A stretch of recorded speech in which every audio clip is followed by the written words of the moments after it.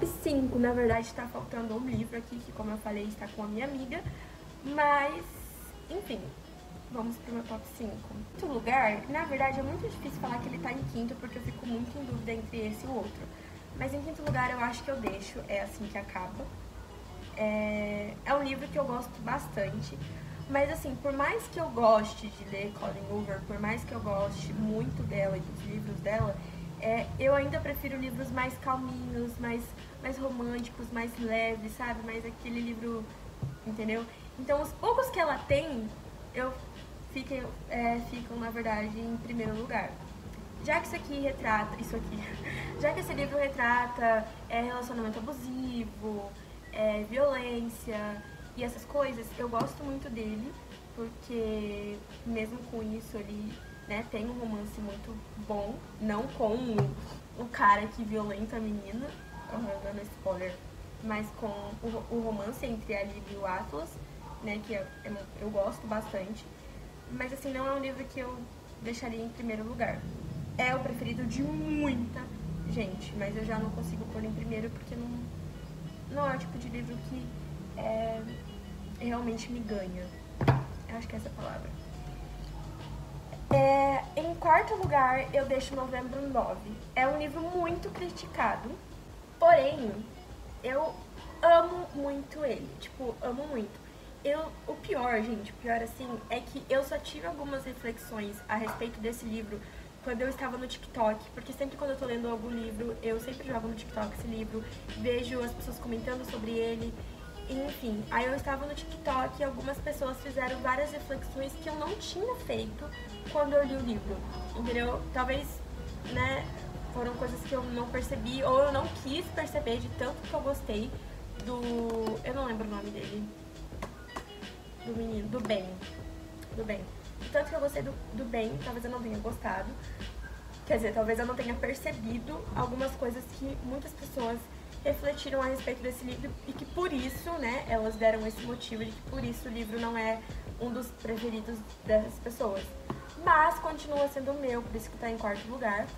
E no caso, é, eu não quero dar spoiler nem nada, mas eu queria muito dar spoiler. Eu, por isso que eu não tô falando muito sobre cada livro, porque eu não quero dar spoiler pra quem não leu. Mas. É... Enfim, gente, o que eu posso falar, pra eu não dar o spoiler, é que. No... Por que, que é novembro 9? Porque eles vão se encontrar todo novembro 9. Todo dia 9 de novembro é quando eles se encontram. Só que a problemática do livro, porque sempre tem. É, é, que os livros da Colin não é tipo uma problemática que nem o restante dos outros livros que eu já li. É porque sempre é algo que você jamais vai esperar, entendeu? Então tem ali uma problemática no dia 9 de novembro, se eu não me engano é, foi o dia que aconteceu um, um, acidente em que a Fallon estava envolvida. Ela estava na casa do pai dela, se eu não me engano, se não me engano quando a casa é, pegou fogo, ela se acidentou, o corpo dela ficou cheio de cicatriz, queimaduras, enfim. E foi nesse dia 9, depois acho que de um ano, é, talvez eu esteja enganada porque faz tempo que eu li, mas foi quando ela conheceu também o Ben. E, enfim, Aí depois eles começam a se envolver, se conhecer, passaram a se ver todo dia nove. E aí é quando acontece, né? A, assim, a Colin, ela solta uma, uma bomba que me deixa, tipo, exatamente assim. Eu fiquei muito em choque com o final desse livro. Eu não aceitava. Mas, se ela não tivesse feito o que fez, né? A Colin, no caso, ter colocado isso no livro, é, talvez eu não teria achado tão bom. Deve ser por isso que eu acho bom os livros dela, porque é sempre algo que eu não esperava. Mas é, bom, eu juro que é muito bom ler. E depois, em terceiro, é, em terceiro lugar, Uma Segunda Chance. Amo muito, amo, amo muito. É... Tem até algumas marcações aqui. Gente, esse livro, assim, é muito bom. Muito, muito, muito bom mesmo. É... Só que, tipo assim, eu fico muito eu não consigo falar sobre o livro. Faz tempo que eu li, eu só sei que ele tá em terceiro lugar. Uh, mas eu só sei que é de uma menina que ela acabou de sair da prisão e ela tá em busca de recuperar a guarda da filha dela. E ela está envolvida, tipo, em um acidente ela foi né, condenada por ter por não ter prestado socorros socorros ter prestado socorro ao namorado dela que estava com ela num acidente e ela acabou deixando ele lá pra morrer e ela se salvou. Entendeu? Aí com isso ela acabou sendo presa, perdeu a guarda da filha e depois de cinco anos presa ela volta para aquela cidade onde aconteceu esse acidente. É, ninguém sabia quem era ela, ela tentou se esconder, assim, tipo, fisicamente, eu acho, se eu não me engano. E até que ela conhece um cara em um bar, eles começam é, a se conhecer e tudo mais, e aí acontece que ele tá envolvido também na família dela, meio que ele que é meio que o pai da filha dela, que ela tava tentando pegar a guarda. É, porque ele é o melhor amigo do namorado dela que morreu. Enfim, é muito bom, gente. É muito, muito, muito bom. Gosto bastante. Agora, pro meu segundo lugar, eu coloco aqui, ó, todas as suas imperfeições, porque é um livro perfeito, sem defeitos, e eu amo muito. E é um livro, assim, eu acho que vai ser o primeiro livro que eu vou falar pro meu namorado assim, ó. Leia, porque é muito bom. Queen, ela não pode ter filhos. Enfim, ela tem essa dificuldade de ter filhos. E ela é casada com Graham. Eles se conheceram após os dois é, terem se conhecido na porta do apartamento da Queen. Porque, se eu não me engano, é do apartamento dela. Gente, me perdoe, faz tempo que eu li o livro. É, e os dois descobrem juntos que né, o noivo dela, o noivo da Queen e a namorada do Graham estavam ficando naquele apartamento. Ou seja, os dois foram cornos. E, um, sabe, logo quando se conheceram, num único dia, numa única hora. E aí depois de algum tempo eles se reencontram, eles começam a se conhecer, a se relacionar. Aí o livro vai passando, sabe, alternando é, de tempo, quando eles são casados e até o momento que eles se conheceram, até onde tudo aconteceu. Não sei se dá pra entender. Mas enfim, gente, é que o que me ganha muito né, nesse livro é a parte das cartas, né? Que eu não vou dar muito spoiler, mas as, as partes é, da, das, das, da, ah! das cartas me, me ganham muito. É, eu amo muito mesmo. E é esse o livro que eu falei pra vocês que tem aquela spin-off, né? Que eu mostrei no começo. E assim, perfeito. Perfeito a forma de superação dos dois, a forma pelo qual, tipo, mesmo com as dificuldades, a Queen não poderia ter filho, é, não, não conseguiu ter filho e tudo mais. Era o sonho que eles tinham, que eles tinham. E mesmo assim eles conseguiram superar tudo, sabe? Então, de verdade, é um livro assim muito perfeito, eu gosto muito. E por isso que é meu segundo favorito da Colin. E como no primeiro lugar, né? Fico muito triste porque eu não vejo muitas pessoas falando que esse é o favorito delas. Mas é o meu favorito. Até o verão terminar.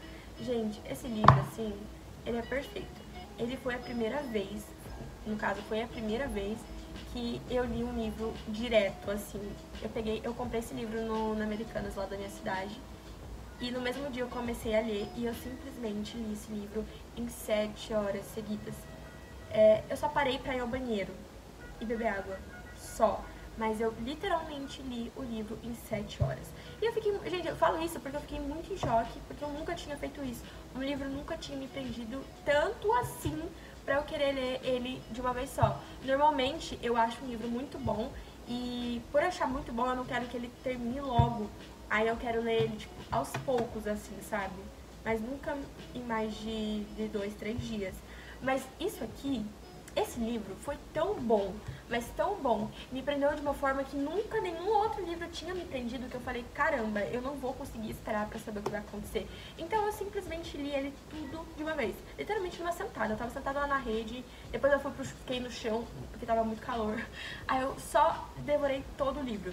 Então foi uma experiência, assim, muito boa. É o meu primeiro livro preferido da Colin, é o meu livro preferido, porque eu amo muito, muito, muito mesmo esse livro. E pra dar uma resumida, é, conta a história da Bia. Eu falo Bia, eu tenho, é outra pronúncia, mas pra mim é Bia, porque é mais fácil. É, a Bia, ela acaba de perder a mãe dela, ela não tinha contato com o pai. E depois que ela perde a mãe, ela vai morar com o pai em uma casa, tipo, praiana, assim. O pai era muito rico, enquanto ela vivia na pobreza, sabe? Ela era muito pobre junto com a mãe dela. A mãe dela era dependente química então, quando ela vai morar com o pai dela, ela, sabe, é imergida em uma realidade que ela nunca tinha vivido antes. E isso a frustra muito, porque enquanto o pai dela é, vive uma vida luxuosa e tudo mais, ela vivia na pobreza junto com a mãe e ele nunca ligava pra ela. E, e, nisso que ela vai, né, com, morar com o pai, o pai nem sabia que a mãe dela tinha morrido, ela conhece o Samson, é, e nisso, assim, acontece um romance, assim, perfeito, de todos os romances que a Colin escreveu, se é que eu posso falar romances, né, os romances que ela escreve, esse aqui é sem dúvidas o que eu prefiro, o que eu acho saudável em partes, tá, porque não é 100%, é é esse que eu amo, assim, de verdade, que ganhou meu coração. A forma que eles se apaixonam, a forma que eles se conhecem. É, é perfeito, simplesmente perfeito. Se eu pudesse, eu faria com que todo mundo lesse esse livro, porque realmente ele é perfeito em todos os detalhes, assim, sabe? A maneira que a Colin escreveu esse livro, é, o jeito que ela retratou todos os cenários do livro é realmente perfeito. Gente, eu só queria que saísse um, um filme disso aqui, uma série. Se, se eu pudesse escolher qualquer livro da Colin pra sair, seria esse aqui. Eu queria que saísse um filme ou uma série de até o verão terminar mais do que é assim que acaba, porque é perfeito. Acho que ver isso nas telas vai ter assim uma uma significância, uma emoção assim muito maravilhosa, porque realmente é muito bom. Me faz lembrar um pouquinho, não a história nem nada do tipo, mas a vibe, assim, sabe, de ser bom, assim.